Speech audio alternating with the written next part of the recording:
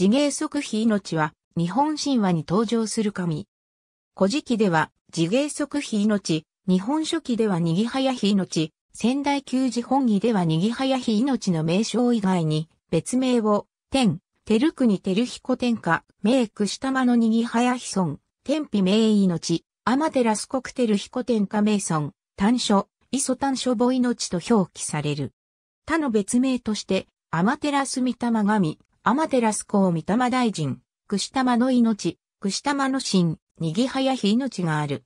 古事記では、神武天皇の神武統制において、大和地方の豪族である、長州、泥彦が報じる神として登場する。長州、泥彦の妹の富夜姫を妻とし、との間に、馬島遅い命を設けた。馬島遅い命は、物のべれん、穂積神、うねめ神の祖としている。神山と言われびこのが統制し、それに抵抗した長州、泥彦が敗れた後、神山と言われびこのが、アマテラス大神の子孫であることを知り、神山と言われびこののもとに下った。日本書紀などの記述によれば、神武統制に先立ち、アマテラス大臣から十種の信奉を授かり天、岩尾線に乗って、河内国の川上の地にあもり、その後大和国に移ったとされている。これらは、ニニギノ村の天孫降臨説話とは別系統の説話と考えられる。また、有力な士族、特に祭祀を司る物部氏の祖神とされていること、神武天皇より先に、大和に鎮座していることが、神話に明記されていることなど、にぎはやひ命の存在には、多くの重要な問題が含まれている。大和地方に、神武天皇の前に、出雲系の王権が存在したことを示すとする説や、大和地方に存在した何らかの勢力と物部氏に結びつきがあったとする説などもある。仙台旧寺本義では、アマテラス国テル彦天下、名句下間のにぎはやひ村とイーンやめのうしほ耳の村の子で、ににぎの村の兄である天日、名命と同一の神であるとしている。また、物部氏、穂積氏、尾張氏、海部氏、熊野国蔵らの祖神と伝える。新鮮性視録ではにぎはやひは、天神、天日名命は、天孫と資料者を別とする。にぎはやひ村の墳墓、にぎはやひ命の墳墓は、奈良県生駒市城に話題にある城庭山である。天神本義には、余った折に、高見結び村から防衛として、以下の32人に命じて随伴させたとある。しかしここに見られる32柱の神々は、世代、年代を無視して列挙した極めてずさんなものであり、ニニギ命降臨時の随行者や神武天皇時代の人、大国主の国づくりの協力者などが登場しており、資料として全く信頼できるものではない。他にも、天世男命と天与で命など語気による神明の重複も多くある。これらから32柱の神々はほとんどすべてが後世の捏造記事であり、この部分を除去した五部人、五部作りなどが、実際のにぎはやひ命に随行したものと考えられる。さらに五部が、友領として沿い従った、とある。さらに、警備のため天仏部の5名の作りと25名の兵勢を持った部が伴った。これらを船で運んだとあり、操船した者の名が記されている。日本書紀と古事記によると、神武天皇とにぎはやひ命の出会いのあらすじは次の通り。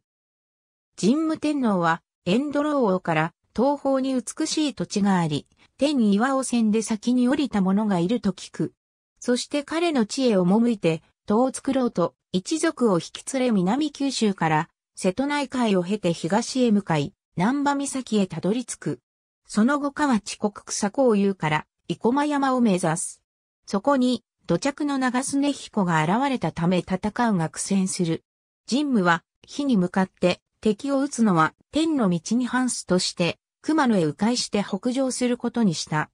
宇田に到達し、高倉山に登って辺りを見渡すと、八十武が軍人を構えているのが見えた。その晩、神武の夢に天神が現れ、天神地義を敬い祭れと告げる。その通りにすると敵陣を退治でき、続いて長須根彦を攻める。すると長須根彦は、我らは天岩尾線で天より降りた天神の巫女にぎはやひ命に仕えてきた。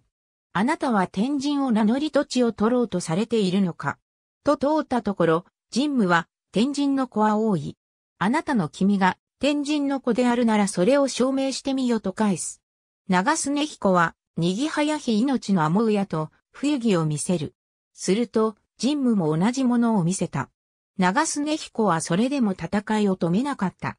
にぎはやひ命は、天神と人は違うのだと長須根彦を諌めたが、長須根彦の性格がひねくれたため殺し、神武天皇に基準して忠誠を誓った。石切剣や神社上の社拝殿ただし、仙台旧寺本義では、すでににぎはや日は覆名せず現地で亡くなり、亡骸は即票により天に挙げられ、葬儀は7日、七夜続いたとあり、神武統制の時点で彼は個人となっている。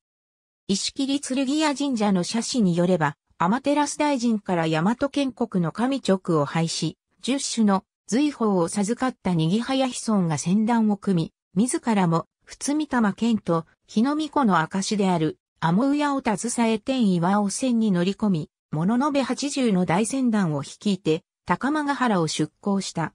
途中、武全国の宇佐に寄港すると船団を二つに分け、息子の天皇具さん命に、仏見玉、剣を授け船団の一方を預けた。宇佐から瀬戸内海を渡るとにぎはや子孫は、河内、大和に、一方の天工具さん命は、キーに向かった。天岩尾線が鳥見の里を見渡す高るが峰に着くと、にぎはや子孫はあたりを見渡し、虚空に密日本国、分け、空から見た日本の国、または空に光り輝く日本の国と賛じた。これが日本の国号の始まりとなった。当時の河内と大和の一帯は鳥見の里と呼ばれ、穏やかな自然と海や山の幸に恵まれた豊かな土地であった。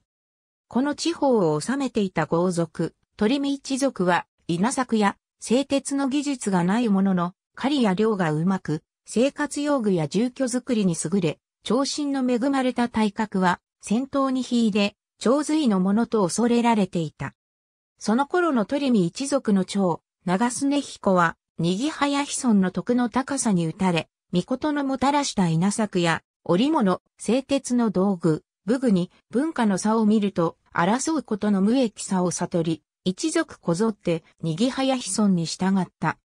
この時二人の間を取り持ったのが、長須根彦の妹、富夜姫で後に、御事との間に、馬島遅い命を設けた。こうして鳥見の里を治めるようになったにぎはや子孫は、水が豊かで、稲作に適した、この土地に水田を開き、大きな実りを漏らすようになった。これが近畿地方の稲作文化の始めとなった。一方、鳥見の里が繁栄を極めていた頃、岩れ彦が、日向の高千穂から東へ進行を続け、やがて河内に上陸志向者が坂で、長須根彦と対峙した。戦いに敗れた岩れ彦は、紀伊方面に退却、紀伊半島を迂回し再び、長須根彦と対峙する。この頃、すでに、にぎはや子孫は亡くなり、代わって鳥見の長となっていたのは、馬島遅命だった。馬島遅命は、アモウヤと、不強、日の巫女である証として、岩れ彦に差し出した。すると岩れ彦からも同じものが示され転損であることが明らかになった。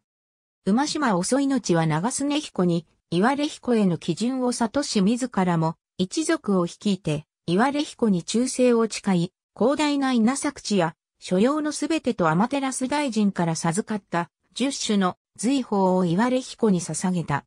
こうして、大和の統一が成し遂げられ、岩れ彦は、初国知らす天皇に即位した。仙台旧寺本義では、天照大臣の孫、雨の押保耳の孫と高見結び高子、高畑知事姫との子である天妃、名命と同一心とされる一方、伊福部死刑図では大名口の命の子、五十剣、単実る命の五世孫である、荒木神命の子としている。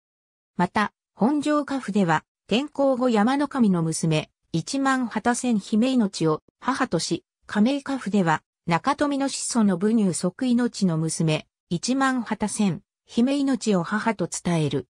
子には大名口の命の娘である、天と姫命との間に生まれた天皇御三命と長州、泥彦の妹の富安美目との間に生まれた馬島遅い命がいるとされるが、天皇御三命の娘を母とする系図と矛盾し、天と姫命は天前玉命の妻ともされる。娘の熟保や姫命は高倉下の妻となった。次元即非命を祖とする士族に、物のべ氏がある。穂積氏、熊野国蔵は出しも、同祖とされる。湯気氏は、物のべ氏と関連が深い。加護神社の鮭、海部氏に伝わる系図については、国宝の指定を受けている。海部氏は、尾張氏と同じく天の秘民命の子孫であり、自芸即非命の子孫ではないが、仙台旧寺本義の秘民命イコールにぎはや非命同一親切を前提とした場合は、同祖となる。また、伊福部氏は、大名無知の命を始祖とする系譜に、にぎはや非命を組み込んだ系図を持つが、これは、婿養子を表した系図とされる。祭神堂一子神社。ありがとうございます。